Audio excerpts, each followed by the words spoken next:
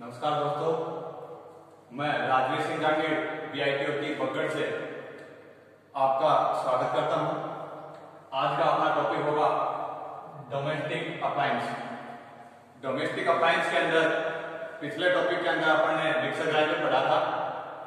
आज का अपना टॉपिक डोमेस्टिक अप्लायंस के अंदर होगा गीजर। गीजर के ये कुछ पार्ट्स मैंने डायग्राम के अंदर पहले तो अपन बात करते हैं, गीजर के इस डायग्राम के ऊपर करते हैं।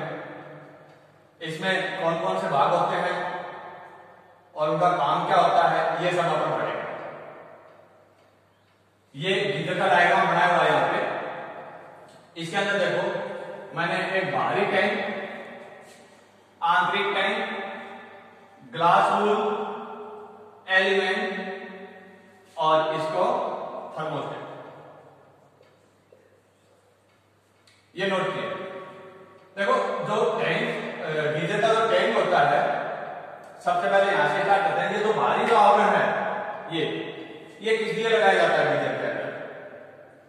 गीजर के सेफ्टी के लिए।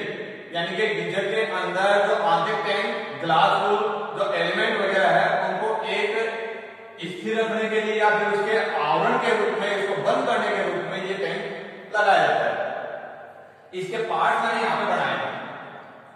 अपन बात करेंगे सबसे पहले थर्मोस्टेट की।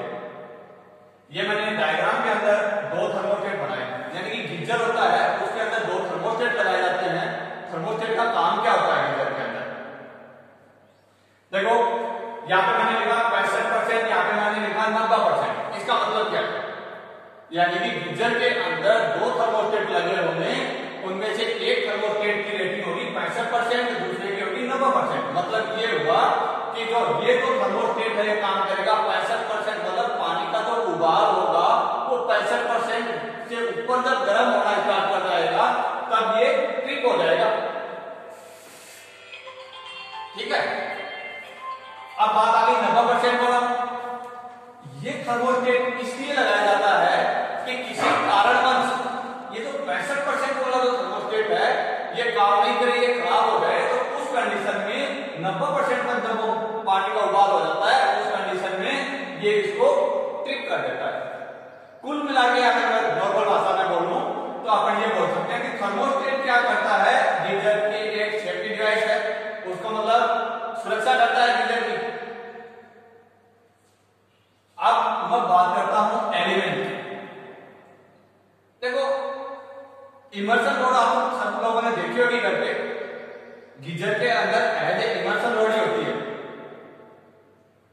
इमर्सन रोड को गीजर के अंदर फिट कर दिया जाता है तो उसके एलिमेंट की बात कर रहा हूँ मैं। अच्छा टॉपिक है, इमर्सन रोड भी अच्छा टॉपिक है, क्योंकि इसके कुछ क्वेश्चन पूछे भी जाते हैं। देखो, इमर्सन रोड में सबसे पहले मैं बताऊँगा कि इसकी जो आवरण होता है, यानी कि एक नली नुमा आवरण होता है, वो नली किसकी बनाई जाती है? कौन से धातु की बनाई जाती है? क्वेश्चन पूछा जाता है बार बार। तांबे की बनाई जाती है बाकी लोकल कंपनियाँ बहुत सी हैं लेकिन सही मायने स्टैंडर्ड अगर आप देखें तो वो होगी तांबे की नेक्स्ट है इसके अंदर जो एलिमेंट होता है देखो ये जो पाइप बना रखे इसके अंदर क्या होता है इस प्रकार से एलिमेंट होता है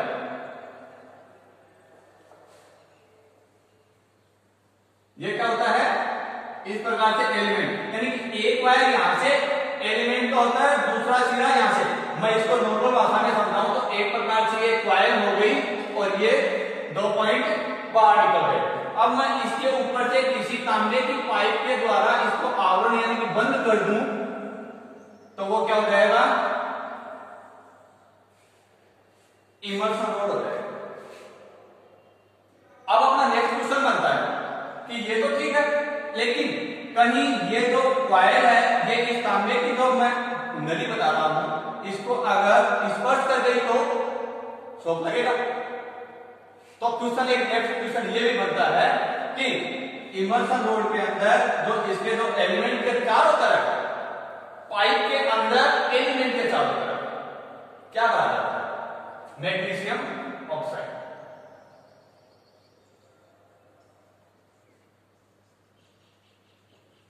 मैग्नीशियम ऑक्साइड चूर्ण बनाया जाता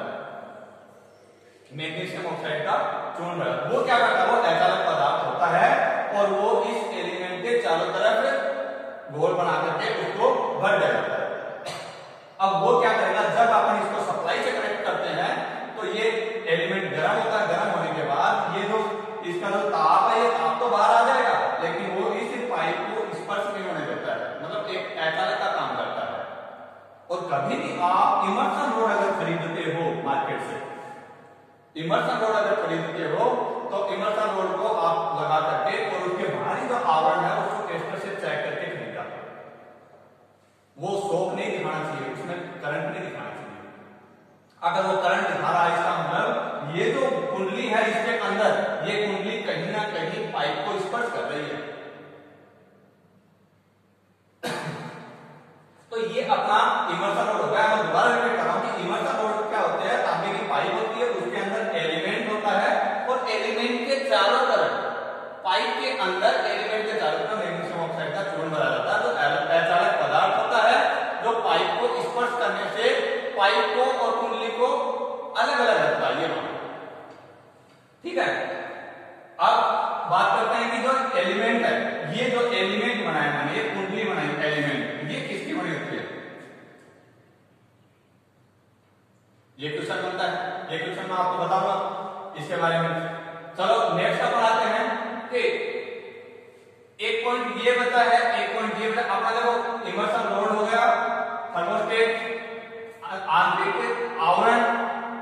अब मैं बात कर रहा हूँ ग्रीन एलईडी इसके ऊपर तो भीतर होते हैं ऊपर दो एलईडी होते हैं ग्रीन और एक रेड ये जो एलईडी क्या होती है पैंसठ परसेंट वाला जो थर्मोस्टेट होता है, उसके अप्रोच लगती है एक दूसरी रेड वाली लगेगी नब्बे परसेंट के अक्रॉस यानी कि पैंसठ परसेंट वाला जब ट्रिप होगा तब ग्रीन एलईडी बंद हो जाएगी रेड एलईडी क्या करेगी नब्बे परसेंट से पहले कर देती है मतलब वो इंडिकेशन देगी इसके अंदर सप्लाई से कनेक्ट है या नहीं ये जो थर्मोस्टेट होता है, उसके ऊपर जब ये पैंसठ परसेंट वाला ट्रिप हो जाता है, इसके ऊपर एक पॉइंट होता है पुश स्विच होता है पुश बटन की तरह। जब ये ट्रिप हो जाता है, उसको ऑन किया जाता है। जब पानी ठंडा हो जाता है, उस कंडीशन में इसको अपन ऑन तो ये थर्मोस्टेट का काम है, ये अपना हो गया इमर्सन रोड नेक्स्ट बात करेंगे अपन ग्लास वूल यानी जो गीजर के जो दो टैंक होता है एक आंतरिक टैंक होता है एक बाहरी टैंक होता है। उसके बीच में ग्लास वूल भरा जाता है। ठीक है? तो ग्लास वूल होता क्या है? पहले तो ये समझो आप लोगों ने टेलीफोन का जो वायर पहले ओवर लाइन के ऊपर डाला हुआ था, उसके अंदर देखा होगा किसी ने पुराने टाइम में। तो वायर के बीच में एक रूई आकार में सफ़ेद दिखाई देता है। उसी प्रकार का ये होता है। वो पतले आकार में आप लोगों ने देखा मैंने ये उदाहरण इसीलिए दिया है कि आप लोगों ने देखा होगा तो ग्लास वूल उसी को बोलते हैं ग्लास वूल वो ग्लास वूल क्या करता है कि अंदर का जो टेम्परेचर है, वो बाहर नहीं आने देता है. अंदर के टेम्परेचर को बाहर नहीं आने देता है. ये काम होता है ग्लास वूल का. इसलिए दोनों आवरणों के बीच में ग्लास वूल लगा दिया जाता है. वो उस टेम्परेचर को बाहर नहीं आने देता है. नेक्स्ट अपने बात करेंगे इनलेट और आउटलेट पाइप होती है इसके अंदर। मतलब एक तरफ़ से पानी अंदर जाता है गीजर के अंदर? दूसरी तरफ़ से पानी बाहर आता है। तो उसका भी एक छोटा सा क्वेश्चन बनता है कि गीजर के अंदर पानी की जो पाइप होती है, वो कौन सी पाइप तो ऊपर होगी और कौन सी पाइप थोड़ा नीचे रहेगी। देखो, कहीं पे भी अपन गीजर लगाते हैं दीवार के ऊपर, लेक बाद में तो गीजर की जो डायरेक्शन वो नीचे की तरफ़ होती है, सबको पता है। तो उसमें जैसे ये गीजर की डायरेक्शन है तो इसके अंदर जो इनलेट का पाइप होगा, वो नीचा मिलेगा आपको, छोटा मिलेगा। आउटलेट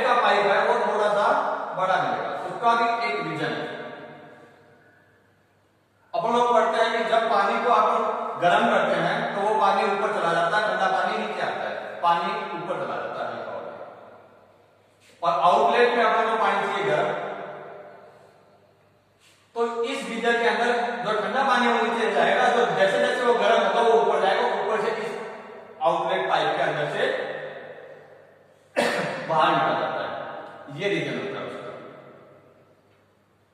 तो अपना गीजर का टॉपिक था।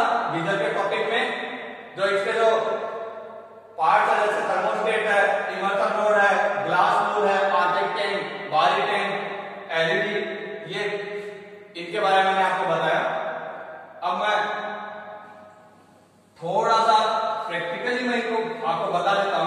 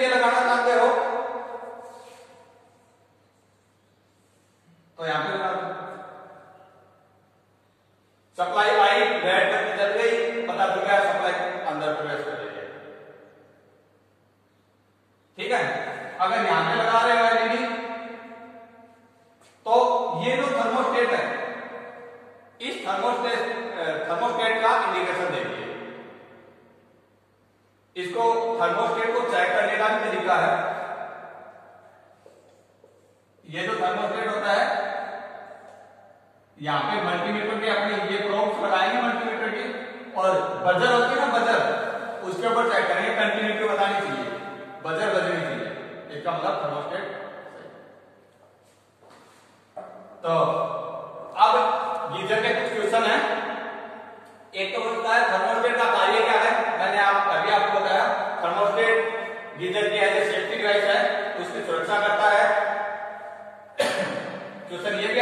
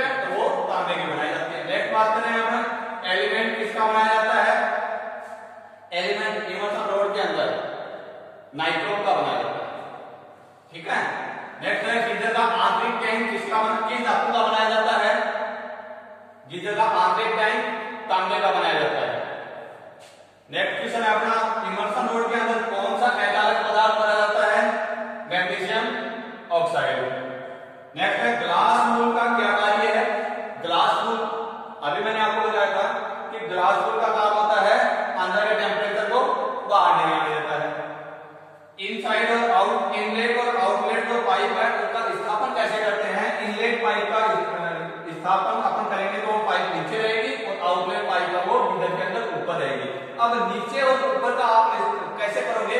ऐसे करोगे कि गीजर जब अपन दीवार में लगाते हैं तो गीजर के जो पाइप होते हैं वो हमेशा नीचे रहते हैं। तो नीचे से इनलेट देंगे तो उसकी जो ऊंचाई है, वो इनलेट की नीचे रहेगी और आउटलेट की थोड़ी ऊपर रहेगी। तो ये अपना तो टॉपिक था गीजर का आशा है।